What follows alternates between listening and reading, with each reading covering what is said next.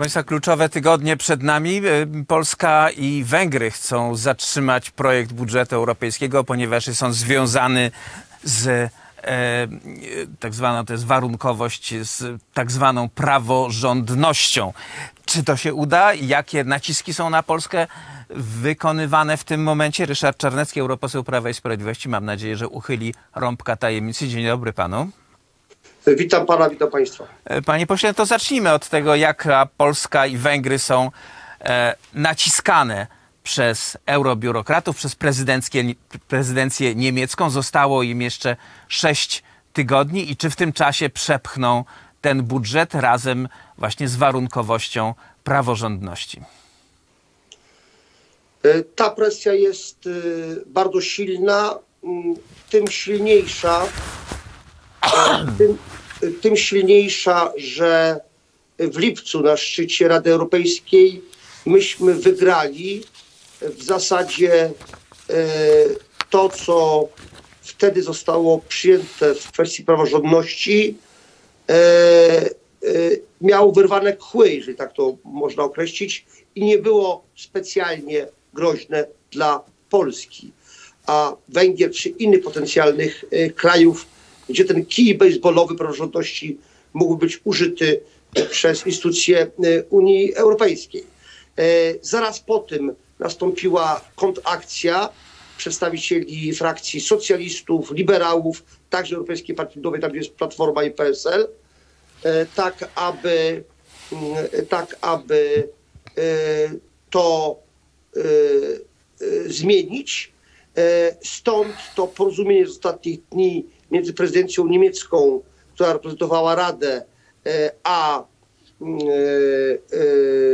mm, E, Parlamentem Europejskim, tyle że teraz musi być zaakceptowane przez wszystkie 27 państw członkowskich Unii Europejskiej, a tu już wiadomo, że i Warszawa, i Budapeszt grozi wetem. E, w sprawie praworządności mm, e, jej włożenia nie potrzeba jednomyślności, ale w sprawie przyjęcia budżetu potrzeba. I stąd ten wywiad prezesa Jarosława Kaczyńskiego dla Gazety Polskiej i to stwierdzenie że my nie zawahamy się użyć weta po to, żeby y, to było jasne. No i jakie wrażenie na dyplomatach, na przedstawicielach niemieckiej prezydencji zrobiło, zrobiła ta wypowiedź, bo wypowiedź była miesiąc temu, a teraz dalej y, ta warunkowość znajduje się w pakiecie, który jest dyskutowany.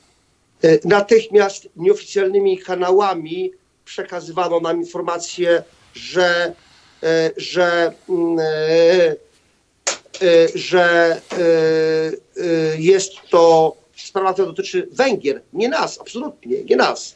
W tym czasie Węgrom mówiono, że to, to jest sprawa, która dotyczy mm, Polski, a nie Węgier. Taka próba dzielenia dywidend impera dzieli rządź. My oczywiście mamy kanały komunikacyjne z Węgrami, przekazujemy sobie takie informacje. Mm, rzecz jasna, w tej chwili E, to, co zostało ustalone, musi przejść na poziom e, Rady Europejskiej i państw członkowskich, e, a tam zgody na to nie będzie. My się nie boimy, pan powiedział 6 tygodni, my się nie boimy tego, mm, ponieważ budżet nie musi być uchwalony teraz. Może być prowizorium budżetowe jednoroczne i to może być dla Polski wręcz korzystne w sensie finansowym. Podkreślam jeszcze raz, tutaj nie będzie straszaka, nie będzie szantażu, że e, zróbcie teraz, nie ma wyjścia, bo nie dostaniecie pieniędzy. E, to może być również za prezydencji portugalskiej, czyli w pierwszych miesiącach przyszłego roku.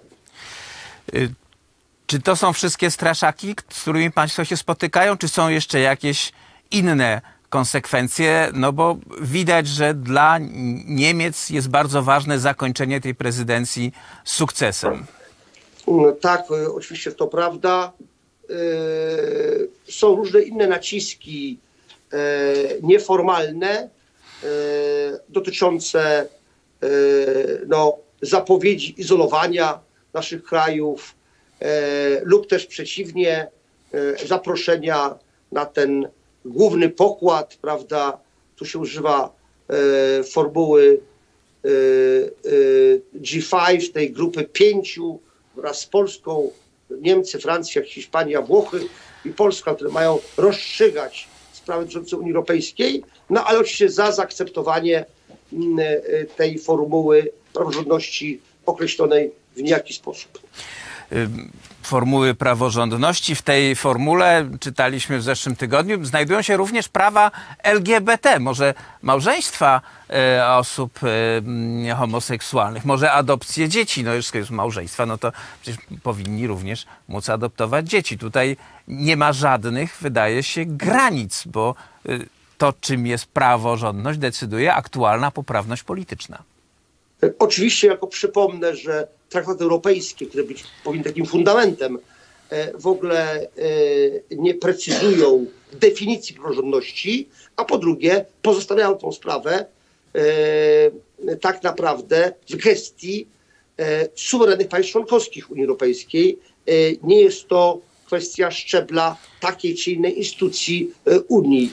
No A... podobnie jak system sądowniczy jest e, zgodnie z prawem europejskim spra wyłącznie sprawą lokalną, ale okazuje się, że są tacy, którzy twierdzą, że sędziowie w Polsce są sędziami europejskimi, a e, sędziowie, którzy mają wysyłać do nas bandytów złapanych gdzieś tam w Norwegii czy, czy w Holandii, zadają pytania, czy w Polsce jest praworządność, czy ich czeka uczciwy proces e, tych tak, biednych przemytników ja... narkotyków.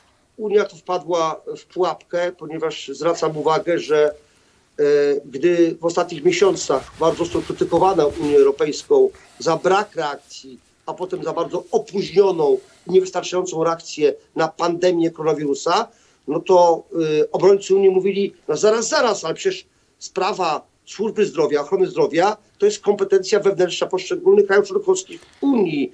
Ale ci sami obrońcy Unii wcześniej mówili, że sprawa praworządności, sprawa wymiaru sprawiedliwości E, które też formalnie są sprawami wewnętrznymi krajów członkowskich. No oczywiście tutaj Unia może ingerować. To jest swoista schizofrenia, czy standard, podwójne standardy, ale myślę, że te podwójne standardy w Unii w tej chwili są coraz bardziej silne. My jako Polska mamy instrumenty, e, to jest broń atomowa, weto to jest broń, atom, broń atomowa. Też od razu wyjaśnię i uspokajam, że naprawdę ta broń atomowa jest stosowana przez kraje członkowskie Unii. Jeżeli pan redaktor policzy e, liczbę e, mm, wet zgłaszanych przez poszczególne kraje, to Polska jest na pierwszym czy drugim miejscu. Jesteśmy w pierwszej dziesiątce, owszem, pod koniec pierwszej dziesiątki, ale takie kraje jak na przykład e, Francja, Belgia czy Niemcy używają tego weta w ostatnich latach,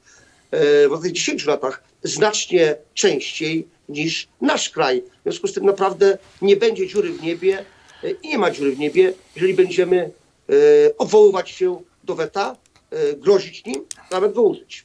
Czy takie wydarzenia jak wczorajsze prowokacje na Marszu Niepodległości wpływają na stanowisko Polski i na pozycję negocjacyjną naszego kraju. Przypomnijmy chociażby rok 2016, słynny Guy Verhofstadt, który zobaczył na ulicach e, Warszawy, e, nie wiem, 30 tysięcy faszystów. E, tutaj możemy mieć podobne, może nie problemy, tylko podobną narrację. Czy też Europa jest już uodporniona na te bzdury? No, on mówił o 60 tysiącach faszystów. Nie przeprosił, ale stanowisko stracił. Znaczy nie jest już szefem E, liberałów w Parlamencie Europejskim. Mm, e, podobnie zresztą jak pan Timmermans na antypolonizmie e, nie uzyskał stanowiska szefa Komisji Europejskiej, o czym marzył, do czego dążył. A więc może nie warto atakować Polski. Taki, taki wniosek, taka konkluzja z tego płynie. Mm, natomiast no, ja powiem tak, że tutaj to, co się działo w ulicach Warszawy, to pikuś w porównaniu z tym, co dzieje się na ulicach Francji, czy działo się w Hiszpanii, E, czy dzieje się, dzieje się na ulicach Niemiec. Więc naprawdę nie uważam, żeby ta sprawa była jakoś specjalnie mogła być użyta jako argument przeciwko Polsce. Czy Pana zdaniem jest tak, że zachodnie niemieckie media, które są w Polsce, różnego rodzaju ośrodki, chcą osłabić polski rząd i wykorzystują tego rodzaju prowokacje uliczne w tym celu? Ja myślę, że tutaj każdy argument jest dobry e, czytałem ostatnio o tym, że Polska nie chce niemieckiej pomocy, mm, e, e, gdy chodzi o pandemię. Potem okazało się, że, e, że to jest jakiś fake news. A, mm, więc e, no, to jest oczywiste, że e, każde państwo wykorzystuje instrumenty, które są mu dane, także na przykład medialne czy jakiekolwiek inne dyplomatyczne, gospodarcze, e, żeby uzyskać lepszą pozycję dla siebie. E, My nie narzekajmy na sprawność naszych sąsiadów, bliższych czy dalszych, martwmy się o naszą sprawność. Ja uważam, że w ostatnich pięciu latach polskie władze mogą popełniać czasem błędy, ale odwołują się do racji stanu i to jest główny punkt odniesienia, e, a nie załatwianie stanowiska takiego czy innego dla e, premiera czy, czy innej osoby, jak to bywało drzewiej e, za czasów koalicji PO-PSL. Ryszard Czarnecki, europoseł Prawa i Sprawiedliwości. Dziękujemy bardzo. Dziękuję bardzo. A Państwa zapraszamy na kolejną rozmowę. Jacek Liźniewicz, dziennikarz Gazety Polskiej.